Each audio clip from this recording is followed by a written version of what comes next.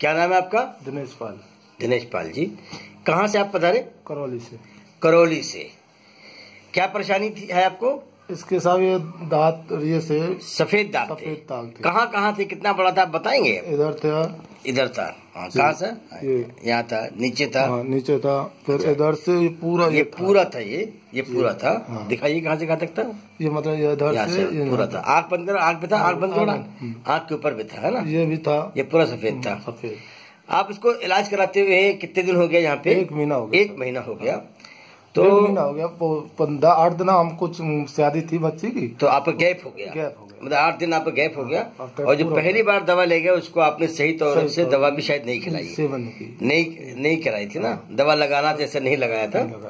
लेकिन फिर भी दोबारा हमने आपसे आए थे हाँ। जब आपसे पूछ के फिर लगाया तो हमको पचास परसेंट इससे आज पचास परसेंट फ़ायदा है। जी।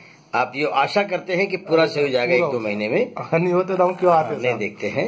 तो आपको किसने बताया कि भाई यहाँ यूनानी का इलाज इस तरीके से होता है साहब हमारे ये जयपुर में हमारी बच्ची है। उन्होंने बताया था कि हम वहाँ पे ले गए। हाँ। आपको दो बार में फ़ायदा हो जाएगा। एक इधर सिकंदरा में भी थे। उन्होंने बताया कि आप वहाँ जाओ। तो आपको लोगों के बताने से आपको हाँ, जानकारी हुई। कोई एडवर्टाइजमेंट थोड़ी है सरकार का या मेरा कोई गवर्नमेंट एडवर्टाइजमेंट थोड़ी है।